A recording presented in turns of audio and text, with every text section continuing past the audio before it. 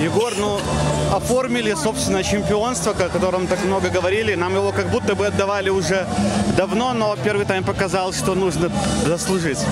Да, сто процентов э, соглашусь. э, Очень тяжелая игра, что физически, что эмоционально. Первый тайм, конечно, будем откровенно, был, наверное, одним из худших вообще в нашем исполнении. Но надо отдать должное. И Гомель играл здорово в первом тайме.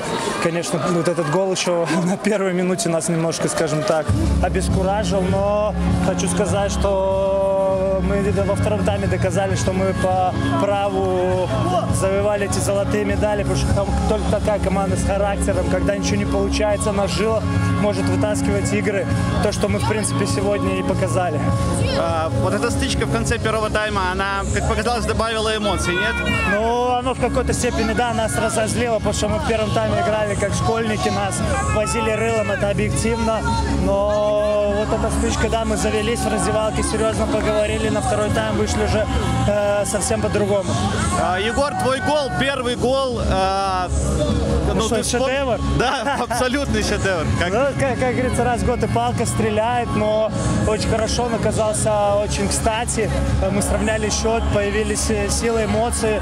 В принципе, забили второй, но видите, как бывает в футболе, уже где-то подсознательно, может, думали, что все, сейчас главное удержать, за это нас и наказали, 2-2.